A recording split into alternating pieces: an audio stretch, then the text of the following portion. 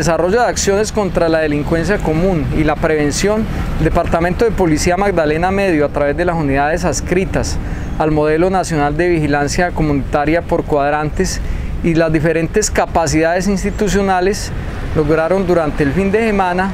un total de 19 capturas por delitos como tráfico, porte de estupefacientes, hurto, violencia intrafamiliar, y asimismo se incautaron un total de 850 dosis de estupefacientes, tres armas de fuego, tres armas blancas, la recuperación de un vehículo tipo ambulancia,